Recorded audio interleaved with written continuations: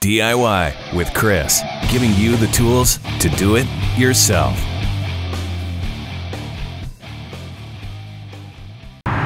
Hello everyone, so we're just doing a uh, video right now on how to install this uh, little blanket and a bug grill for the car. It's getting a little bit colder right now and it's supposed to be a pretty cold winter up here in Alaska. So we're actually mainly using it for the blanket version so that the car can try and help warm up a little bit faster. So this is a FIA brand and they actually make custom made um, covers for every vehicle. When you go to their website, you have to uh, fill in your specific year and type of vehicle so it matches uh, perfectly to yours. So these are supposed to be a little bit better quality. They do cost a little bit more. Uh, so it comes from Europe. It took a little bit longer to get here um, and was a little bit more expensive than some other versions that I'd found, but this was a guaranteed fit for it.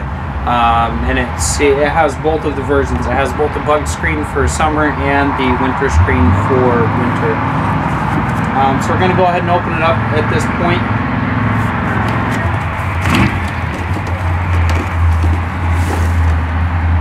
It's a really easy application.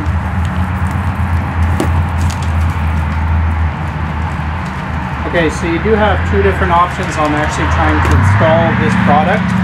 Uh, one option is uh, the the snaps that you're going to be putting on your vehicle. You can either drill them in, and that's what this bag is for, this little baggie. Um, or we're going to go with this one, and this is the little snaps again, but they have the adhesive backing. So you just put the adhesive on your actual um, frame, however it's designed to be mounted, and then um, it'll stick that way. So we're going to go for this. I don't want to drill into the uh, grill at. Um, okay, so what it advises you do is uh, it advises that you actually start it and do it with a bug screen. Even if we're going to be applying the winter screen after this, it advises that you start with this one. Um, so whatever snaps you choose to do, you're going to go ahead and grab that. Um, so I'm going to take these out. The other thing in this bag is an alcohol wipe. That's going to help us clean the surface before we actually attach these to it. Um, but the first thing you'll do is go ahead and just dump these snaps out and it says uh, it calls for you to go ahead and put these snaps in each one of these first so it's already in place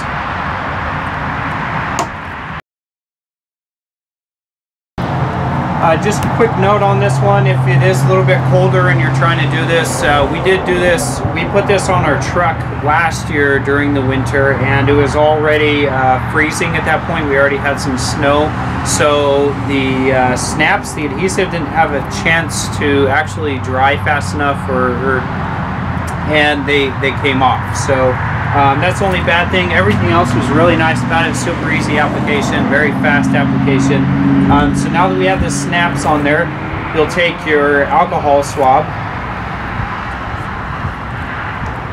Um, you can beforehand, if you're not sure where the snaps are going to be, you can, uh, I'm going to flip it upside down here, and you can place it on your car so you can see approximately where it's going to fit.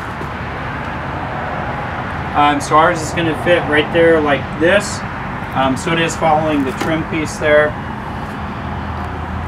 This swab does fold over, so I like to take one side and use it. Uh, gives us maximum usage. And go ahead and start here. It behooves you to uh, clean this as well as you can before you use the alcohol swab. Um, I have more alcohol swabs that I can use uh, just in the house, so I'm not, I didn't clean it before this, so I'm just going with this for now.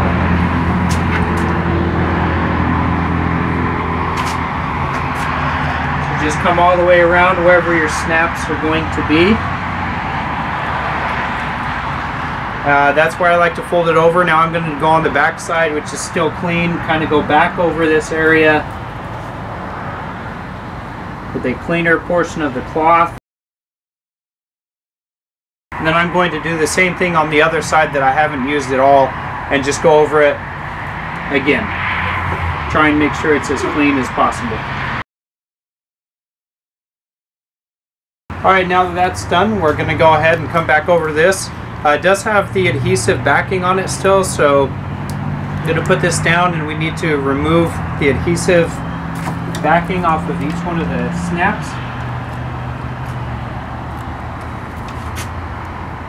It's pretty easy. Just got to catch the edge. There's no pull tab or anything, but again, it's, it's super easy to do.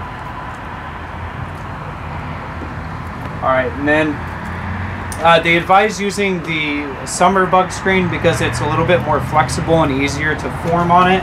So you want to be uh, pretty careful here. I'm going to use my knee on the bottom to keep the bottom away from it.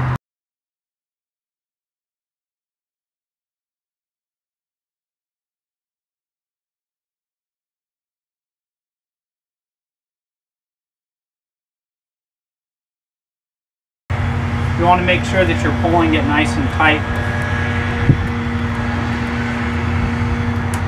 And then go ahead and stick it down.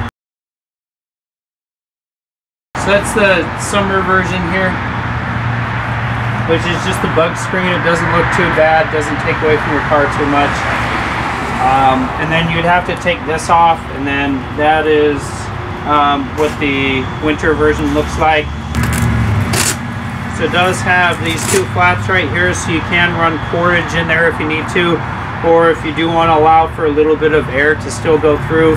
Um, it has the Velcro, so you can Velcro it back and leave you a couple open windows. Again, has the Fia branding here, um, but overall still doesn't look too bad. And it's a very good fit according to your specific car. So I actually really enjoy this. I, I think it's been a very good investment for us, especially up with how cold it gets here in Alaska.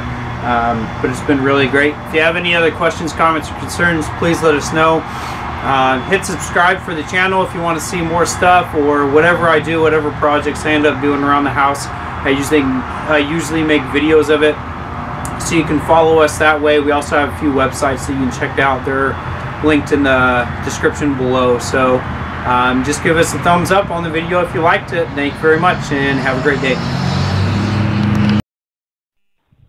DIY with Chris, giving you the tools to do it yourself.